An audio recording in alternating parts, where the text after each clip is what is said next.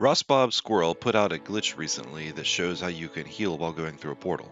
After further testing, it turns out that this glitch has unlimited potential for what it can do. I feel like it's already turned into 100 glitches. So in this video I'll be showing you everything I've learned about this glitch and everything you can do with it. First, let's talk about the setup. You'll need to have two weapons, one with an attachment on it, and an open spot in your inventory. The weapon with the attachment needs to be equipped. Now climb onto a ledge and hold. Now enter your inventory, remove the attachment from the weapon, then drop that weapon. Now exit your inventory and climb over the ledge. From here, you need either a charge tower or a downed teammate. Start activating the charge tower, continue holding it while you access your inventory and select your other weapon to pull it out. If you can shoot while you continue to charge the charge tower, that means the glitch is active. The process is the same with the down teammate, where you start the revive, enter your inventory, select the other weapon, and then shoot to test to make sure the glitch is active. Now let's list out the weird things that you can pull off with this glitch. If you get bored with one of these, just go ahead and skip to the next chapter where I'll cover a new trick. You can slightly mod your emotes depending on the legend you select. Start your emote and then pull out your tactical or ultimate. A lot of the tacticals and ultimates will show up in the hand or pocket of the character during the emote. With two-handed abilities like Pathfinder's Zipline or Seer's Tactical, it will actually cause the character's arms to stay close to his body instead of performing the normal actions of the emote. If you fly with this glitch active, your gun will show up on your crotch. Some Legends ultimates will also show up during the flight if you have them pulled out before initiating the flight and they will stay visible during your skydive emotes.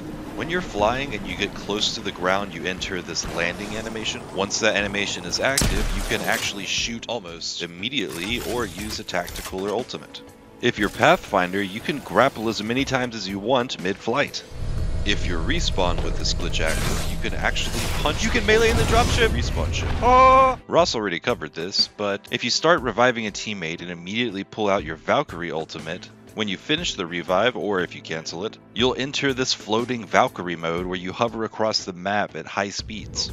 On Stormpoint, you can hit gravity cannons while in this glitched Valk mode and get some crazy momentum. If you attach yourself to the Valk ult and then get kicked off, you actually won't be able to fly for the rest of the match. I can't fly anymore! And last and most important, I want to bring up the fact that you can pull off some insane trick shots right now with the glitches that are available. So here's how you set it up.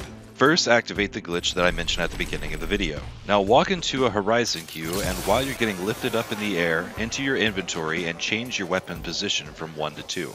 This will give you perfect accuracy mid-air with the weapons that you have equipped. The final step is you need to head to a balloon with Horizon. Now have Horizon throw the tactical underneath the balloon, enter the lift, and then grab onto the zip line before you're kicked off at the top. Now fly towards a mountain, and once you enter the landing animation, you'll actually get that final kick from the Horizon Tactical. Right when this happens, you should aim down sight at an unsuspecting enemy and take the nastiest trick shot that has ever happened in the history of Apex.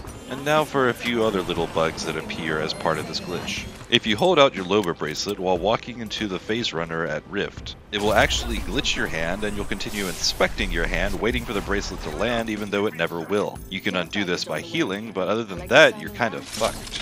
A lot of the characters can actually use their tacticals while emoting. If you shoot while Oh. emoting, it will silence the weapon on your end. Unfortunately, the enemy can hear the shot.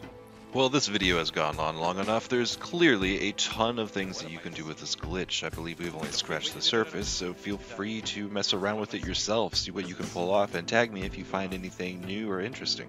I hope you enjoyed the video, have fun out there, and if you're not subscribed, think about it. Have a great day, friend. What in the shit? And you get a heat shield or I'm dead. It's back. I got syringe. What is it? I, I, I really can't describe it. I'm just gonna have to show it to you in a second.